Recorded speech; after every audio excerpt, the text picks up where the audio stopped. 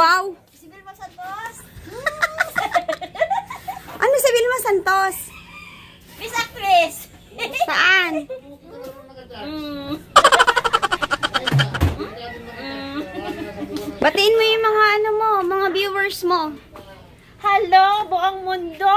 Nationwide! Kumusta na kayo? Happy New Year! Wow! Oh, diba?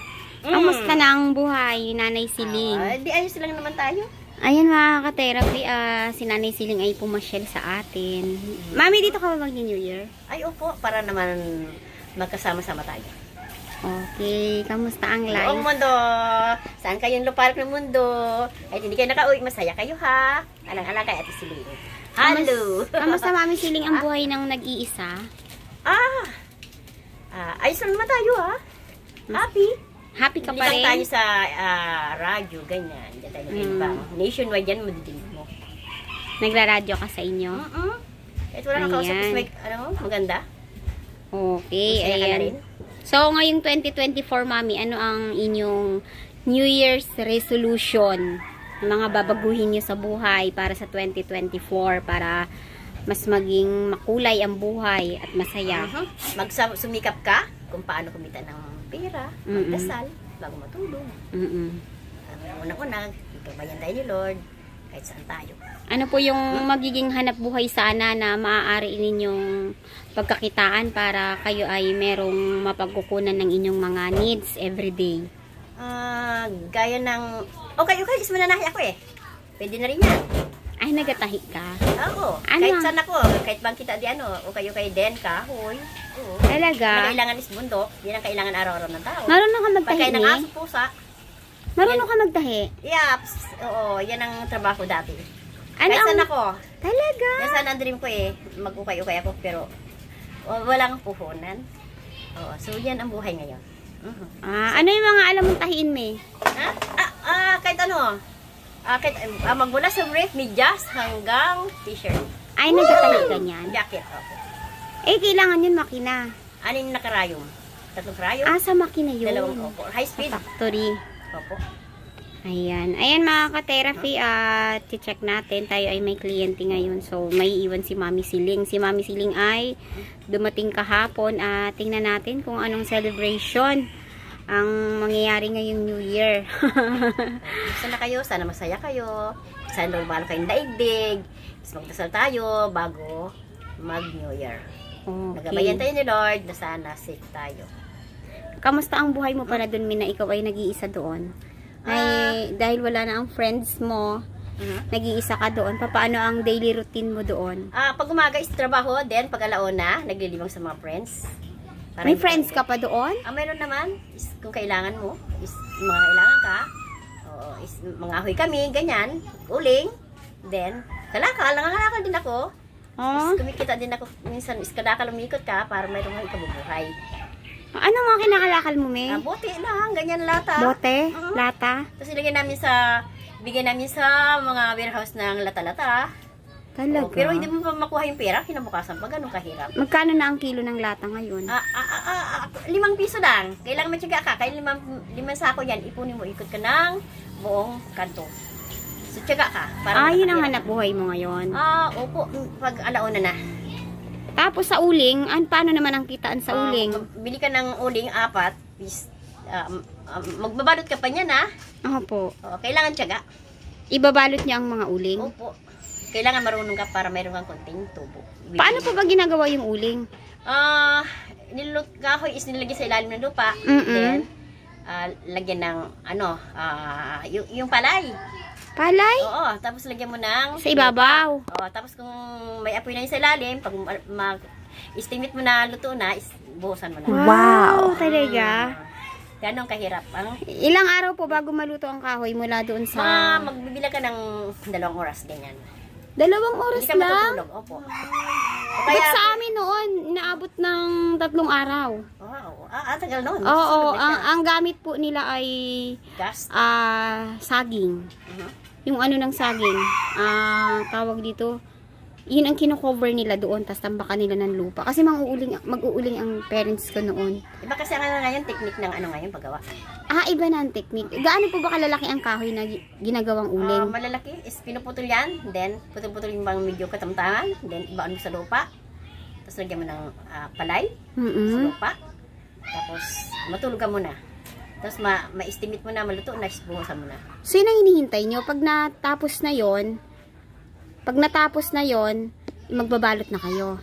Ah, ah, ano pa yan? Ilagay mo sa bilao. Ibibilad mo Okay. pa yan. Ah, ibilad Para pa. maging pera is balutin mo pa. Ganun kahirap.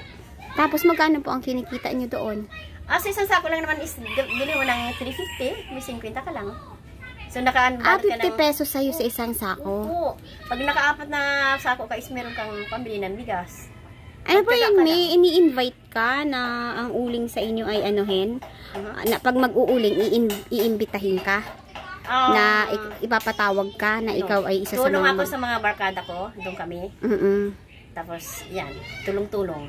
Tapos, kung naisalang na siya, doon kami matutulog. So, madalas po, yan ang hanap buhay nyo ngayon. Mm, pag alaona is uh, bakante akong oras. Eh, yung Sa kamusta naman po yung bahay nyo ngayon na tinutulugan nyo? Ah, ito, medyo gi- giba-giba na nga. Nagiba na. So, hindi pa naman, re-repair ko siya kung wala akong ginagawa. Ma- May matutuluyan lang ako. Okay naman ang mga gamit mo po Ah, okay doon. lang naman. Mapagmalaki sa gamit eh. Ano yan, May? Walang tulo doon sa bahay So, mo? tumutulo na siya. Then, yung sahig, lumusot yung paa mo. Mm-mm. So, kumuha ko ng plywood-plywood dyan sa labas. Kung ano mapupulot ko, i-repair ko dun sa sahig para mayroon akong pera. Kasi gawang kahoy yun eh. So, pwedeng may anay na yon sa tagal na rin ng Oo. So, panahon. nilagyan ko siya ng krudo para tumitibay siya. So, Pero pwede di ba- pang tulugan. Ah, pwede pa. Kasi tinatagpi-tagpian ko ng ano, makikita ng plywood sa labas. Nilagyan ko yung sahig na, tagpi-tagpi lang na, pinulot ko ng plywood sa labas para maging bahay ko din. Mahigaan ko. Ah, okay. So, ano na rin pala, medyo pasira na din. Opo. Eh, kung sakali pong tuluyan na masira na yun, ano po ang plano nyo, Mami Siling? Um, ah, ayusin. Then, bili akong folding bed ko. Kung meron ako, doon pa rin ako. Ay, gusto mo po talaga doon mag-stay sa bahay Pag nilibang yun? ko sa tanim, is the best tanan tanim eh. Kung wala kang pera, kuryente, kinabukasan, may makukuha ka. So, doon mo talaga gusto mag-stay Mm. sa hirap ng buhay bahay na yun? Pag may halaman ka, at wala kang kuryente, ah, hindi ka magbabayad, eh, wala kang utang. So, ang mahirap lang ang pera is kung pambili ng bigas. Mahirap ang buhay doon dahil walang kuryente. Malayo ang So, tubig. tanim, tanim is bundok. Ibig sabihin, Mami, nag enjoy ka mag-stay doon kahit Ah. pasira na yung bahay? Siyempre, iisipin mo din yung susunod kung paano Mm-mm. kumita, yung ganun. Kasi can't afford din minsan eh. Sa hirap ng buhay ngayon, 50, is wala kang 59, wala kang bigas. Oo, 60 na nga ang Ay, bigas try pa rin ng mga lakal, umiikot ko ng pagkikitaan. Opo. Pero yan ang gusto mong, ano, yan ang, yan na kasi ang life mo ngayong 2023. Sa 2024, ano naman po ang, ano, gusto Ah. nyong mabago? Ito nga, gusto ko naman kunting, ano, puhunan lang naman sa daing. Kaya, Sa daing? Then, okay, okay. O, pagkain ng aso, manok. Daing, gusto mo magbenta ng daing Oo, doon? daing. Pagkain ng aso, pusa. Yan ang kailangan ng tao araw-araw eh. Mm. Oo, yung mga aso is, Ayun, masusurvive mo ang buhay mo doon. basta may ganon. ka, Mm-mm. is may makakatulong sa Saka po magpipwesto sa pagtitinda. Ano, ikutan ng ano yan tao eh. So, papuntang court, school, Opo. kung may pasok ka na, is mabinta siya. Kasi yung naghahati sa school, mamimili yan, syempre, kapag pangangailangan ng aso niya. Mm. Oo, sa pagkain ng aso ang the best na ano ko. Kasi kikilo mo yan, then mayroon ka na rin doon. Mm-mm. At malinis na paraan na yan, na hindi Mm-mm. ka mga ng marumi. Opo. Tapos yung kung kayo kayo di-display mo, is hindi siya masisira eh. Mm-mm. At ano lang ang buhay niya. So, yan ang gusto mo ngayon, ni, may maliit ka negosyo. Oo, gaya ng, yan nga, pagkain ng aso, tapos ukay-ukay, daing. Wow. Pag may ganyan ka, masaya ka na doon. Kahit na Ah. napakahirap ng inyong tubig, napakahirap ng kuryente, okay ka na na may ganung practical ka kung paano ka mabuhay sa araw-araw. Kailangan, binigyan tayo ni Lord ng ganyan. Mm-mm. So, talagang kailangan gamitin natin. Ang dasal at yun.